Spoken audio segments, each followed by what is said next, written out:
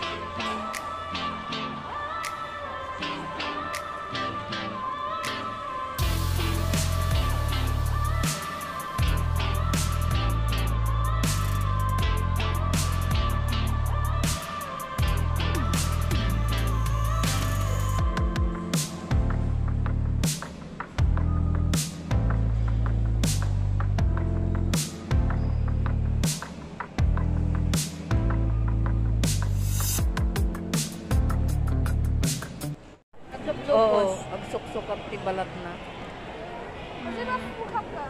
Tulog, oh. Ayan, oh. Gusto na yata yung tubig nila, ba't hindi nila dinalagyan? Kaya nga, ayun naman yung isa.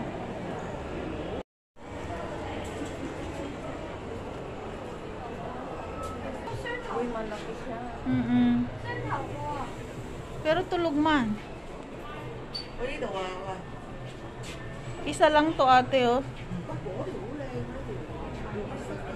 Oh, gising na. Ay, ang ganda naman. Gising na siya. Ni? Ang ganda ng kulay niya. Saan na yung mata? Ayan, nakapikit ulit. Ay, ang lit ng mata niya, ate, parang camera lang. Oh. Ay, yun. Oh, gusto ko yun. Oh.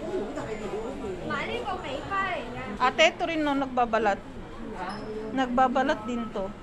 Babalat siya. Mm. Ayun o, pinagtanggalan. Oh, yeah. Parang rahas.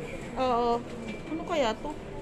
Hindi naman gas. Ganda niya eh. It's very obvious. Parang dalawa ang ulo niya eh. Oo. Ito at saka dyan. Oh.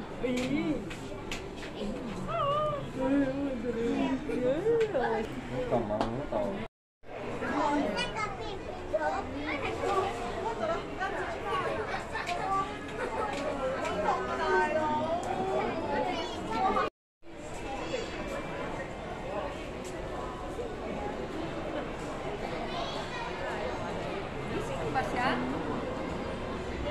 Nakapikit yung mata niya eh. Ito naman yung isa.